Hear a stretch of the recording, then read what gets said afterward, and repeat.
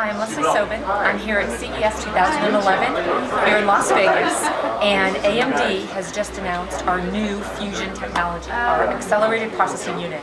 We've got a bunch of notebooks here at the show that all have AMD Fusion technology inside, and I want to show you a few cool ones.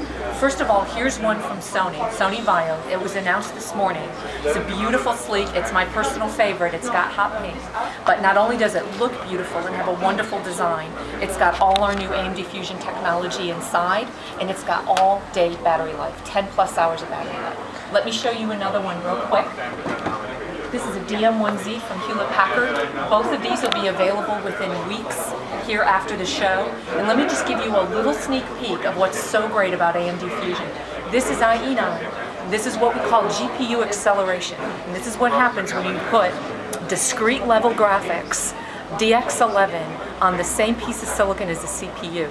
On the left hand side here is what happens when you're able to view this. Think about this as video, think about this for YouTube, HD 2.0, everything served up dynamically for you in HD quality, whether or not it was ever shot in that. This is what GPU acceleration gives you. This is what when you have GPU acceleration, and this is when you don't. So this gives you a much superior visual experience.